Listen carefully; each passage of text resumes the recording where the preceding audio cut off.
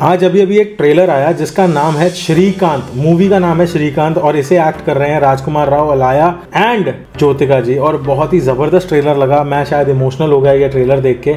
और हम हमेशा बोलते हैं कि अच्छी फ़िल्में हमारी इंडस्ट्री में नहीं बनती। अब बनी है। तो जाके सपोर्ट करना। मास ड्रामा नहीं है, लेकिन जेन्युइन स्टोरी है। देखोगे, पता चलेगा इमोशनल कर देगी ये स्टोरी सच्ची बात ऐसी होती है कि जो कुछ हार्ड फैक्ट्स होते हैं ना, कई बार सुने नहीं जाते या वो गूज बम्स दे देते हैं। हमारी ज़िंदगी की ना एक रियलिटी है there is a parallel life which is which is actually been lived by the impaired people तो उससे रिलेटेड एक बहुत ही ज़्यादा इंस्पायरिंग मूवी का ट्रेलर आ चुका है। मूवी का नाम है श्रीकांत। जाके ज़रूर देखना। And Rajkummar Rao is looking fantabulous as an actor in this movie's trailer मैंने ट्रेलर का लिंक कमेंट सेक्शन में पिन कर दिया जाके ट्रेलर ज़रूर देखो। और टी सीरीज़ के ऊपर ये ट्रेलर है। And I am gonna watch this first day first show और ऐसी फ़िल्मों को सपोर्ट करो, ना कि गंदगी। Like share and subscribe